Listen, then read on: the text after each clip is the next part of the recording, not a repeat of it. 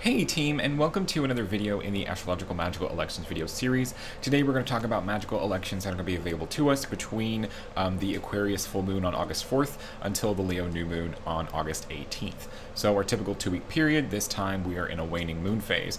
Um, and I will probably not be joined by any cats tonight because we just had a rainstorm, and the cats that tend to be more camera-friendly are actually, in fact, big scaredy babies and are hiding under the couch as we speak. So our thoughts and prayers go out to those kitty cats hiding out under the couch, and they may get brave and sneak out and join us out here in a little bit, but we'll see. Um, so for today, we have three magical electional opportunities during this two-week period, um, and they're kind of all one right after another. Uh, so the uh, North American continent will actually get all three, Australia will only get one, and Western Europe will have two of them. Before we really dive into our electional charts, I did want to make a quick note that from early to mid-August in different parts of the world actually experienced the heliacal rise of the fixed star Sirius. And heliacal rises are kind of big deals within the life cycle of stars. They represent sort of the rebirth period of the stars. And the day, like the actual morning, the actual sunrise time of that heliacal rise date, can be used to make really potent stellar talismans. So it changes depending on your degree of longitude for your location. So I'm going to include a link to a site below that will tell you sort of the approximate date for when that starts. Uh, it starts around like August 2nd, um, well into like August 18th for those in the very high northerly latitudes. So go and check that out and see if maybe you can find time to pencil in a Sirius fixed star talisman for yourself. Keep in mind that this talisman will need to be made at like during sunrise or in the moments kind of leading up to sunrise to really capture that heliacal rise energy as best as you can. So without further ado, let's go ahead and get to our elections.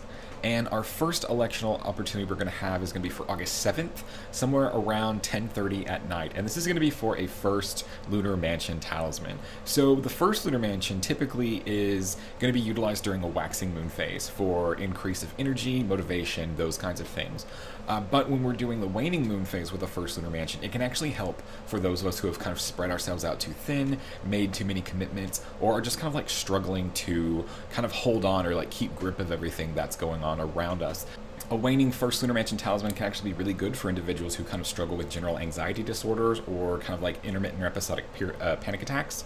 Um, just because they help you kind of like pare down and prune out all of those things rushing at you that you actually don't need to really worry about. So this can be really great for, you know, like I said, if you've made too many commitments and kind of spreading yourself out too thin and help you kind of see and understand what things that you can kind of start to say no to.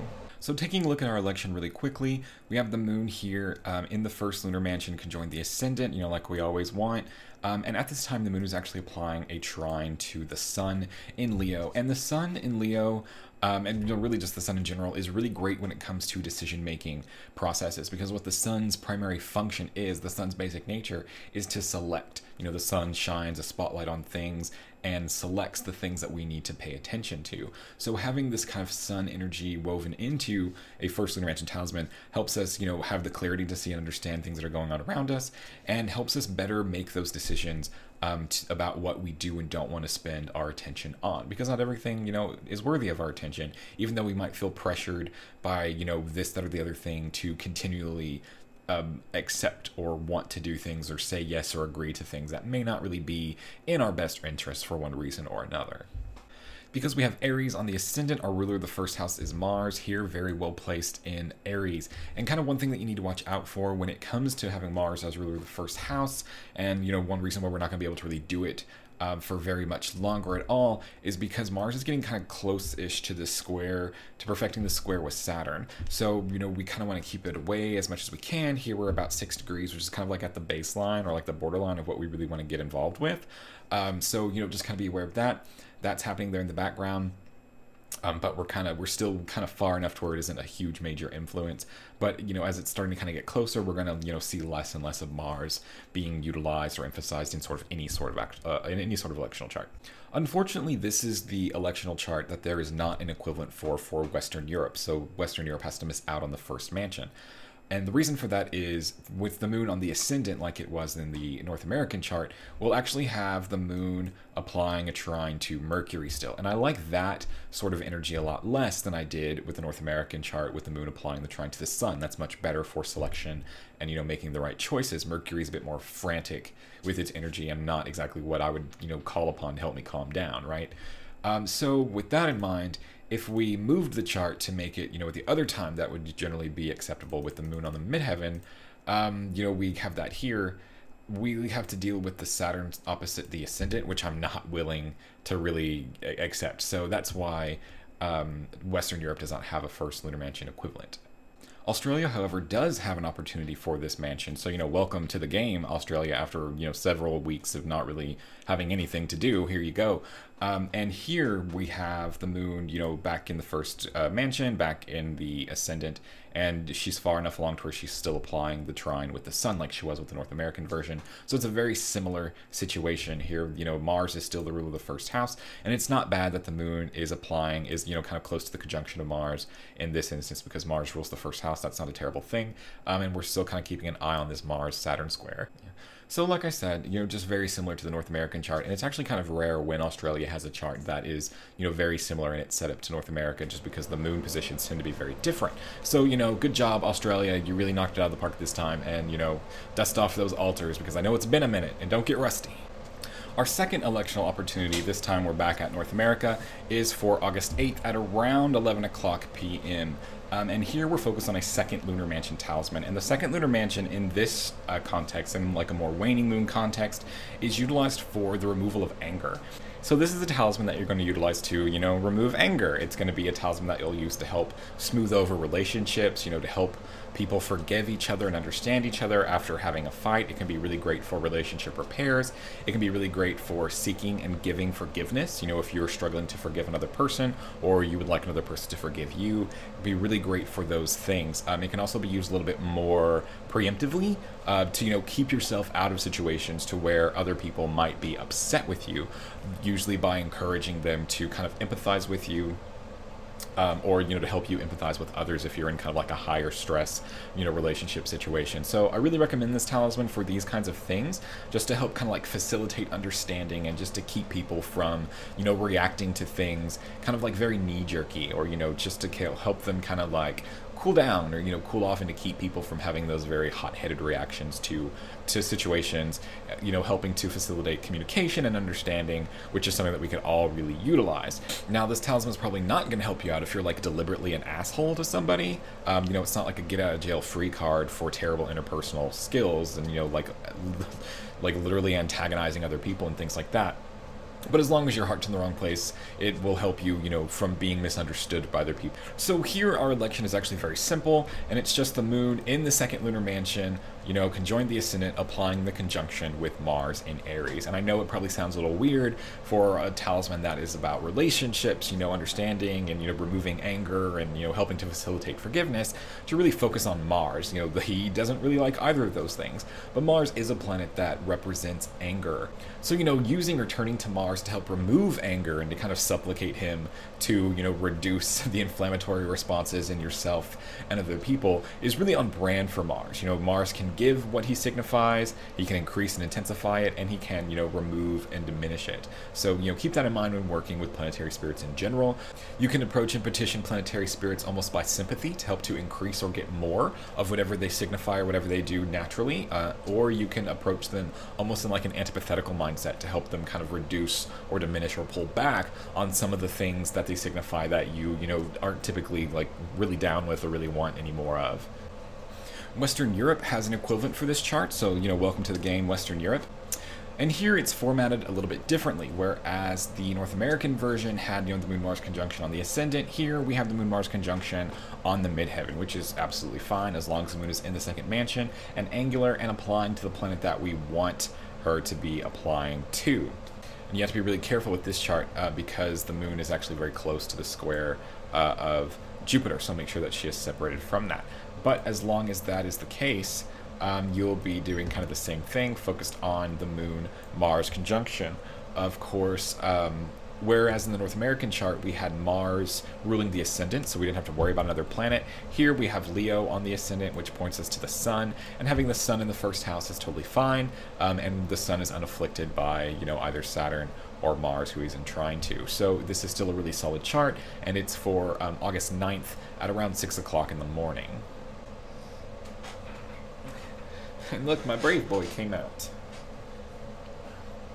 Unfortunately, Australia will not have an opportunity for this election. As you can see their chart here for this time period, um, they'll have, you know, they can have the moon on the midheaven, um, but at this time the moon is actually applying um, the sex, uh, sorry, the trine to the sun, which is not what we want uh, because then we'll have the moon within orb of Mars, which is kind of being a malefic planet here, and we don't want that involved. At the same time, we have the nodes across the ascendant-descendant axis, which I'm a little bit less comfortable with in this kind of a situation. So we've got the nodes across the ascendant-descendant axis, and we have the moon applying to the wrong planet. Um, but there's still a bit of space between Mars and the moon here. So what we could try to do is move it forward and get the moon and Mars on the ascendant maybe that night. Uh, but as you can see, for that to happen, um, the moon and Mars are now separating from one another, which isn't good. And the moon is actually now applying a square to Saturn in, uh, in Capricorn, which is a no-go. So, you know, for those reasons, unfortunately, Australia will not have a second lunar mansion opportunity at this time. So our final electional opportunity for this two-week period is going to be for August 9th at around 11.30 p.m. I told you they're like one after another. And here we're focused on a third Lunar Mansion talisman. This is, of course, back to North America. And so, you know, typically the third Lunar Mansion, this is, you know, the talisman for the acquisition of all good things, one that I recommend very highly, my first ever um, astrological talisman attempt. Um, this is one that I typically recommend being done during a waxing moon phase because that is what she's most conducive to. Like that's going to help you get the most bang out of your buck. But I liked um, some of the way I like the way that this chart was configured to be able to offer it even during a waning moon phase. So this is going to be a talisman that's not at its most ideal.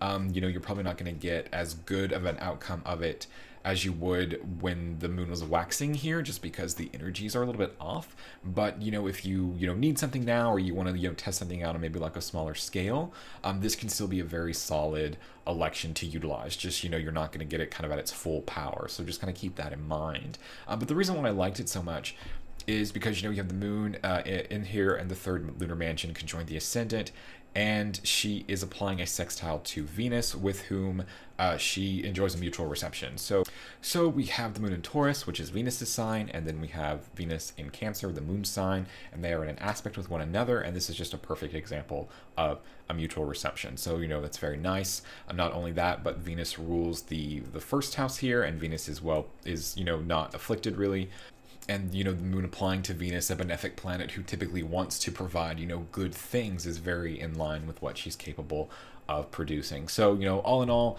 the framework of it aside from the moon phase is very solid so definitely consider making this talisman. Just keep in mind that it's not, you know, the ideal framework. And, you know, that's not something that's unusual for us as astrologers to deal with. You know, the planets are where they are, and there's really not a whole lot we can do with it other than make the best of it that we can. Now, unfortunately, um, Australia will not have an, uh, an opportunity for this talisman because by the time the moon gets to that angle, she's actually separated from Venus. She's past Venus's degree, and we'll be applying um, the square to Mercury. That's the next aspect. Um, and, you know, that's not ideal. We don't really want that. Mercury's not very good at, you know, bringing together good things and just kind of ruins the positive side of the election that I liked. Hello. Come here. Please come here. Yes. Yes, you sugar baby. Yes. And see, I've manifested a cat to cuddle. So obviously this is a great election and you should definitely utilize it because look what I got. This is definitely a good thing. So while Australia has to miss out on the third lunar mansion talisman, Western Europe actually does have an opportunity for it. Um, here pictured on the screen, uh, we have the moon on the midheaven within the third lunar mansion, and she's still applying the sextile very, very closely to Venus in Cancer. So we still have that. Of course, the moon is still waning. Um, and we have Leo rising with the sun in Leo in the first house, and the sun is unafflicted by Mars or Saturn. So a perfectly fine um, third lunar mansion talisman other than the fact that the moon is waning. So like I said, not as ideal, probably not as potent, but you know, you you'll be able to get something good out of it. So, all right, those were all the electional opportunities that I have to share with you guys for this two-week period. You know, three is not bad, especially for a waning moon. Um, you know, definitely not as busy as we were last time. Also keep in mind about the Sirius Heliacal Rising and check out that link in the description below to find out when or what date that uh, Sirius will be rising in your location and remember to get up early and finish that talisman uh, as the sun rises. That's really important uh, timing wise. So, you know, everybody take care and I will see you guys on the Leo new moon and least it's bye.